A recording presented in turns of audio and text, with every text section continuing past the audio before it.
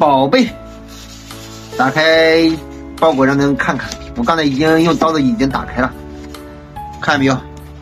这一箱十瓶，其中有五瓶给我们家牛打过了，打过驱虫药了。这剩下五瓶准备给羊打了，大家看见没有？这是伊维菌素注射液，这是体外虫的，去体外虫的，打针的。呃，还有，还有两瓶阿本达的药片，这是驱肠道虫的，这一瓶是五十片，总共一百片。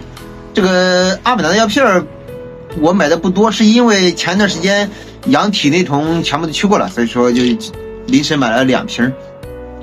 这两瓶是给那些。呃，之前没有驱的那些带羊羔子的母羊驱的，那个母羊小羊羔子已经断奶了，所以说给母羊驱一下。这个给羊驱虫，确实是一件很麻烦的事情。好多网友都说驱虫太麻烦了，我也是觉得很麻烦。没办法，你要是说想用那种拌料的驱虫，确实简单是吧？你拌在料里面让羊吃就行了，确实简单。但是驱虫效果大家也都知道，不是太不是太理想。我平时给羊驱虫就是肠道中和体外虫分开驱的。先驱体内，先驱体外都行，无所谓，但是不能同时进行。呃，另外驱虫的同时一定要给羊健胃啊，一定要健胃。好多人都说为什么要健胃呢？是因为你驱虫药你给羊驱虫是可以，它能杀死寄生虫，说明它有一定毒性。但是它杀死寄生虫的同时，它对羊的瘤胃也有一定伤害。还有一点需要注意的就是两三个月以内的小羔子，咱们能不给它驱虫就不驱虫。